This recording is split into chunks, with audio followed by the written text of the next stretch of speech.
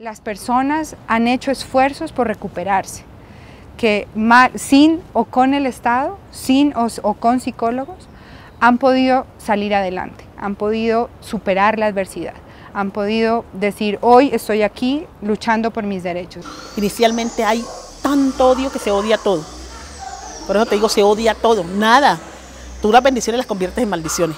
Y lo que es peor, tú no hay de dónde tengas, no, tú no vas a mirar que tienes fortalezas, cuáles pueden ser mis fortalezas, nunca vas a, reconocer que tienes unas fortalezas tan buenas y tan grandes que con todas sus dificultades te has estado sosteniendo en el tiempo. Bienvenidas compañeras, bienvenidas a la vuelta ya. Ahora la estrategia que tengo que escribo.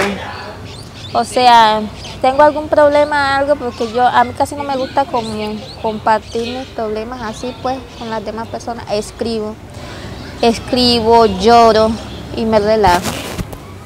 A veces uno necesita como una especie de motor, como de echarle gasolina a ese engranaje que se está pegando, que como que no funciona, no quiere funcionar ya, como que ya la cosa como que se está pegando ya mucho. Yo dije, no, pero yo cómo me voy a dejar morir aquí. Ya venía mi nieto en camino. Entonces eso para mí fue la aceitada más maravillosa que pudo haber. Te digo que cantando y, cantando, contando cuentos y cantando nuevamente, volví a darme cuenta. Eso como que fue lo que me hizo reaccionar. Dije, ah, esto fue lo mismo que viví en el Chocó. Y, y me senté un día cualquiera y empecé a hacerle seguimiento a todo eso que me había pasado en el Chocó, a todo lo que había vivido aquí en Bogotá y montamos una metodología de la huerta del perejil.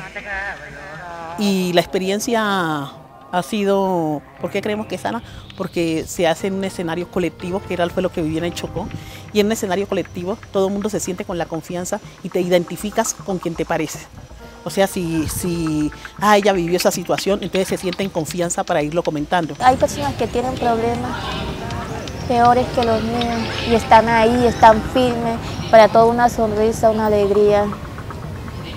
Casi toda la iglesia, soy de la iglesia pentecostal. Eso me, me ha ayudado mucho, porque vivo como es, como, una, en paz, como no, sin problemas.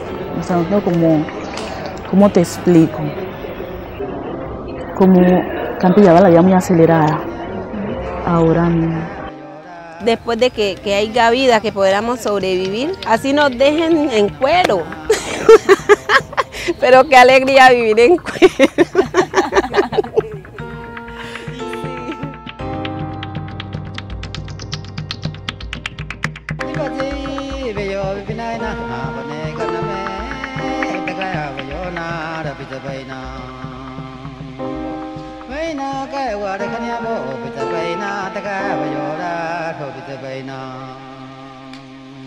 now